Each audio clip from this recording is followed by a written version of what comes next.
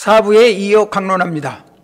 성인 수련이 활성화되기 위해서는 누리용 체육에 입각한 어린아이들의 취향에 맡겨 진행되는 현재의 태권도 수련 방법, 즉 수련 체계를 다른 형태로 바꿔야 합니다. 일선 태권도장의 일일 수련 내용을 살펴보면 다음에 기술하는 범주를 거의 벗어나지 않은 형태의 수련을 하고 있습니다.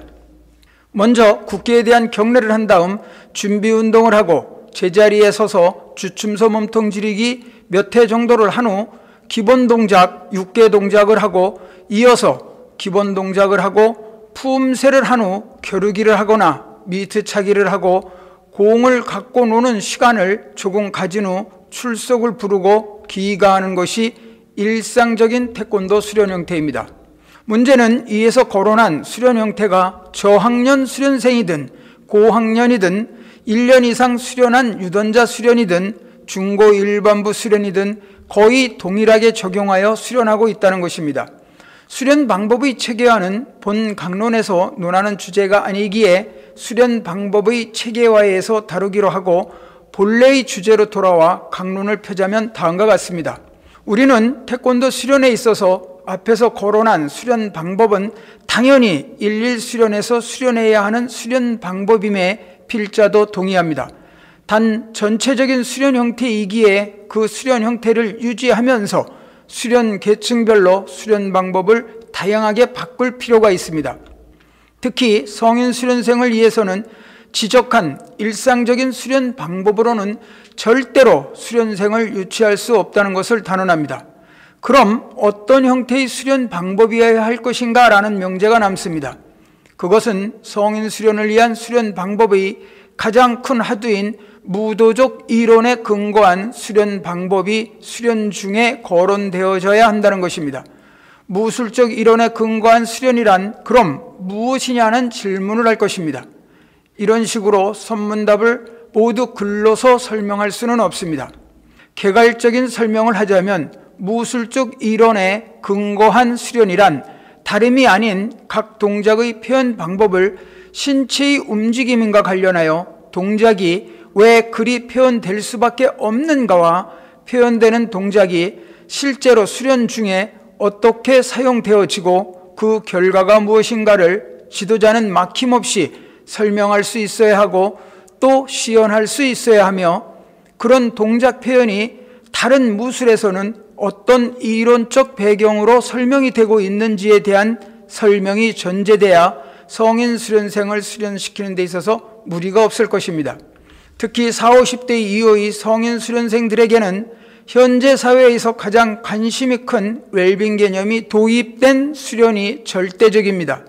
예를 들자면 현재 태권도 수련 속에서 표현되는 동작들이 건강과 관련하여서는 어떤 작용들을 하고 있는지를 설명할 수 있어야 하는 것입니다. 예로 호흡에 있어서 복식 호흡이 단순히 아랫배로 숨을 쉬는 것이 아니라 하단전과 명문혈을 대각선으로 잇는 생각으로 들이신 숨을 잠시 멈추고 입천장을 혀 끝으로 살며시 붙여서 인맥과 동맥을 이어주면서 생각을 하단전에 뭔가 뜨거운 기가 모인다는 생각으로 수련을 하라는 식의 설명이 따라야 하고 거론된 하단전과 명문혈이 어떤 기능을 하는지 등에 대한 설명이 되어져야 합니다. 참고로 인맥과 동맥에 대한 것은 아래 내용을 참고하기 바랍니다.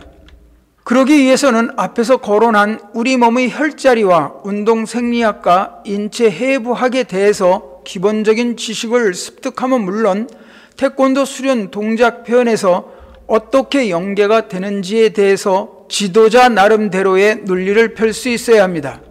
성인 수련생을 위한 성인 수련을 위한 예를 하나 더 든다면 신선이 되는 얼굴을 갖는 방법이란 수련을 예로 들어보겠습니다.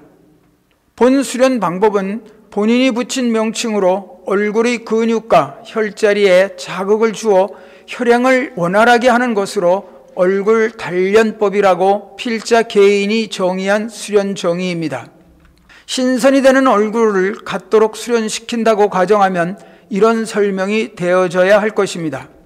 혈자리 중 동맥에 속하는 백회를 중심으로 두피를 양손가락으로 백회 정도 두드려 주고 이어서 손가락으로 빗으로 빗듯이 50회 정도 쓸어내려 주고 안면 근육을 풀어주기 위해서 이마에서부터 잡아당겨 준 후 인맥 중의 한 곳인 승장 부위를 양손의 검지를 이용해 문지른 후 아래 위 이를 50회 정도 부딪혀 주고 양 귀를 엄지와 검지를 이용해 50회 정도 잡아당겨 주고 마지막으로 혀 끝으로 양 볼을 50회씩 좌우로 회전을 시켜주는 수련을 시작 전 또는 끝난 후에 시키는 것입니다.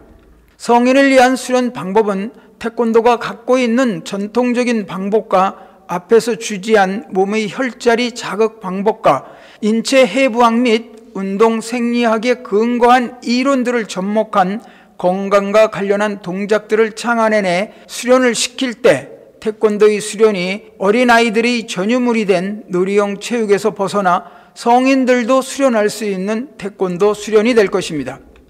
또 다른 방법은 기수련에서 수련하는 동작들을 응용하여 수련 전 몸 푸는 단계에 접목하면 지금 일선 도장에서 하는 몸 푸는 동작과 더불어서 성인들이 흥미를 유발할 수 있다고 자신있게 결론합니다.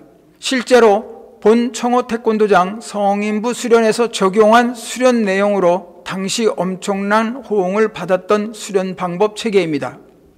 오늘은 여기까지 강론합니다. 다음 6부에서는 트레이닝 원리에 의한 근거적 수련 방법 제시에 대해서 강론합니다.